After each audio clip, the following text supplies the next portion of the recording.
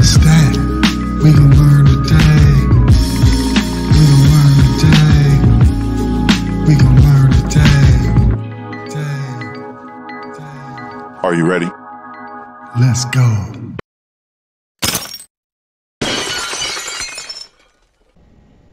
Welcome to We Gonna Learn Today, where we talk about black historical figures, some of their accomplishments and accolades, and hopes to inspire you to follow your goals and aspirations by us giving you an example of someone that has traveled that road and had success doing it. That being said, our person of interest is Amiri Baraka, formerly known as LeRoi Jones, a renowned African American poet, playwright, essayist, and political activist.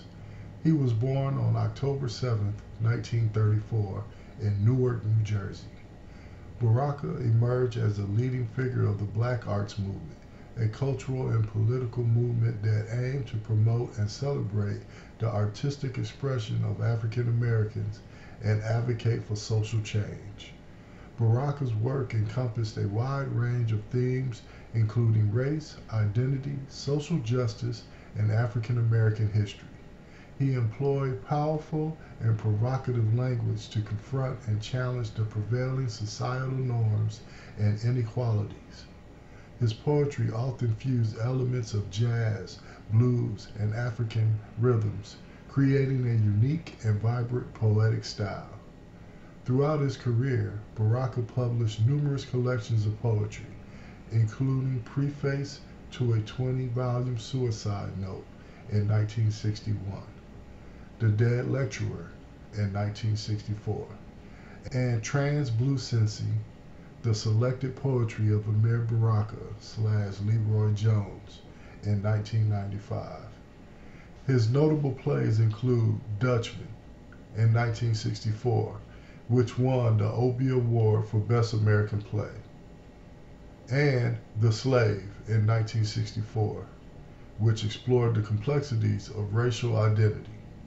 Baraka's artistic and political pursuits were deeply intertwined. He was an outspoken critic of racism, capitalism, and imperialism, and he used his platform to advocate for the rights of empowerment of African Americans.